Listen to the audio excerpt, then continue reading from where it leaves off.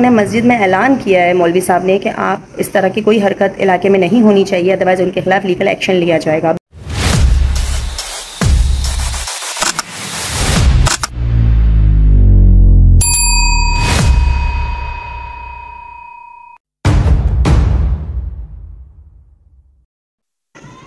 Aslam guys this is me Kiran Hussain Imtiaz and welcome back to my channel तो guys जैसे कि अभी हालिया जो हमारे मामला चल रहे हैं, जिसमें सबसे पहले है पतंगबाजी।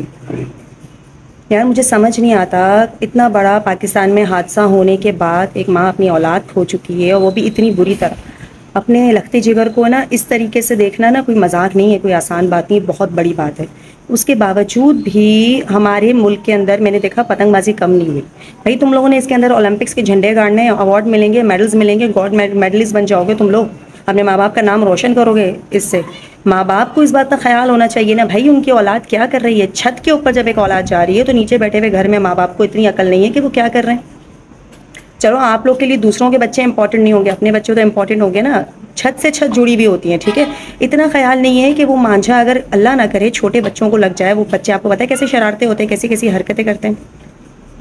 लेकिन नहीं, बिल्कुल ख्याल नहीं है। भाई, इस, ये जितना बड़ा मुद्दा है ना, उस, उसका सोल्यूशन इतना ही छोटा है। कि हर बंदा अपनी ज़िम्मेदारी ले और अपने घर की ज़िम्मेदारी ले। जैसे मेरी बेटी तो अभी ढाई साल की, उसका क्या वास्ता? लेकिन उसके अलावा फिर भी मैं ज़िम्मेदारी लेती हूँ, भाई, कि मेरे घर से कोई इस तरह की हरकत नहीं करेगा।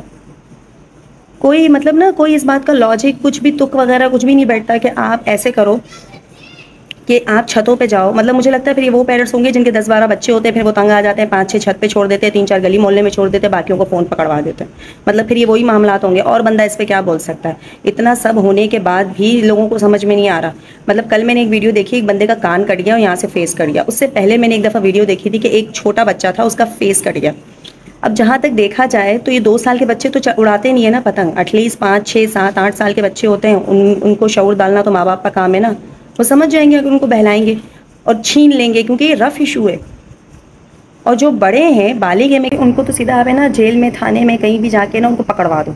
क्योंकि कोई लॉजिक बैठता है इस बात का अब आपको भी हम ही समझाएँगे कि क्या हो रहा है। और अब तो माशाल्लाह से हमारे यहाँ ऐलान किया गया माशाल्लाह माशाल्लाह अल्लाह पाक उनको आ, सेहत दे, तंदरुस्ती जो जिन लोगों ने इस तरह का फ़ैसला किया है और ना, कामयाबी दे कि भाई, उन लोगों ने मस्जिद में ऐलान किया है मौलवी साहब ने कि आप इस तरह की कोई हरकत इलाके में नहीं होनी चाहिए अदरवाइज़ उनके खिलाफ लीगल एक्शन लिया जाएगा। बेचने वाले और ख़रीदने वालों के लिए भी प्लस उड़ाने वाले।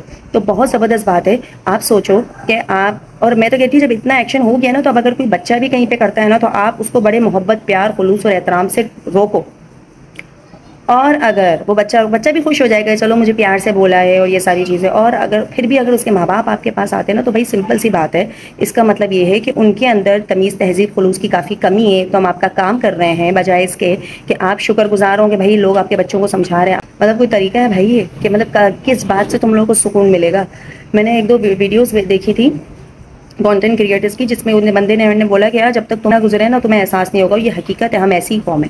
बिल्कुल बेहिस कौम हो चुके हैं हम लोग। हम लोग को बिल्कुल ख्याल नहीं है। एक जगह पे वो लोग हैं जो अपनी दुकानें बंद कर रहे हैं। मतलब अपना जो तीस, पैंतीस, चालीस हज़ार रुपये लगाया है, वो ख़त्म कर रहे हैं कि नहीं यार किसी की जान से बढ़कर कुछ नहीं और एक जगह हम लोग हैं, बाकी लोग, वो उड़ा रहे हैं छतों पर पतंग, मज़े ले रहे हैं इन्जॉय कर रहे हैं। दिस इज़ डिस्कस्टिंग भाई।